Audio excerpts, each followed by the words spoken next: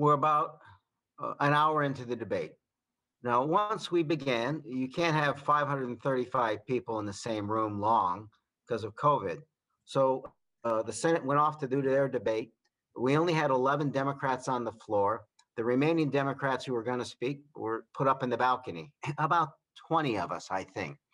And uh, the first hint that things had gotten bad was uh, Capitol Police came in and took leadership of both parties off the floor. Appreciate this. The order of succession, very close in proximity, number two, number three, and number four. Vice President was there, Speaker of the House, President Pro Tem. If you're going to have a coup, that was the place to do it. So they're whisked off the floor. Uh, another Democrat comes to the podium.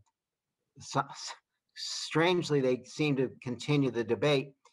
And then there's a pause when we are told that there has been a breach. The protesters were at the Statuary Hall, which is t- about 10 feet from the House floor. All right. Uh, then moments later, you hear shouts, uh, um, an explosion. It sounded like a gunshot, but I think it was a tear gas canister. Uh, so there are tear gas masks under our desk, under our chairs, and uh, we're told to get them out. Then they start uh, moving us around. the floor is evacuated, but us in the balcony, we're surrounded for some reason. We can't get out. So the Capitol Police are trying to figure out how to. So so, so odd to think about it. Trying to figure out how to put us so we're in the safest spot possible with as much cover as possible out of line of shot.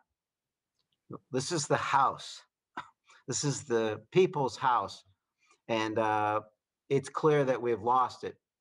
Uh, control has been ceded for the first time to an opposing force since 1812. We end up in the far corner, uh, away from where the president comes in for the State of the Union, taking whatever cover we have. And, and I'm struck again. I'm looking down at the makeshift barricade, uh, guns drawn, and my my my hand is on the shoulder of an officer, and she's got her gun drawn. And at that point, I think they said we got to make a break for it. So uh, they they have us go out uh, and down some stairs very quickly into some corridors in this sort of labyrinth uh, over to uh, another house building and uh, it turned out it was the Ways and Means Committee meeting, a uh, big room. I would guess 60 or 70 members were there at that point. And we were there till eight o'clock when we went back, uh, you know, to continue the process, wait for it, a peaceful transfer of power. A little anger uh, that I saw what the president said that morning, right? He said, uh, if you fight like you have to, if you don't fight like hell, you won't have a country anymore. he invited 30,000 people, and many of them of a mob mentality, into the people's house to do harm. Uh, this was a coup. This is an insurrection. This was a threat to our very fabric of our democracy on a bipartisan basis. Those words have been. Re- That's what I was thinking. I was worried uh, about people worrying. I was surrounded by members who were calling their families to calm them down. I would say the members behaved very well. They were calm, they were courageous. Uh, and part of that, we were calling our families and saying, it's okay, it's okay. Um, some lighthearted joking, uh, dark humor, trying to keep people calm, uh, making fun of the fact that they don't know how to put on a gas mask uh, the fact that we had.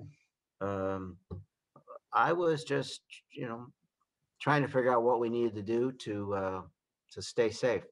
Country's going to be okay. It's just going to take all of us of, of, of, good mind and heart to work together. Um, and I'm I'm I'm gonna I'm gonna get home and see my family, my dogs. Uh, again, uh, I want to wa- after this, there's work to do today, tomorrow, but at least some of this weekend, I want a D'Agostino's pizza and football. Hey, if you like that video, be sure to subscribe to our ABC7 Chicago YouTube channel.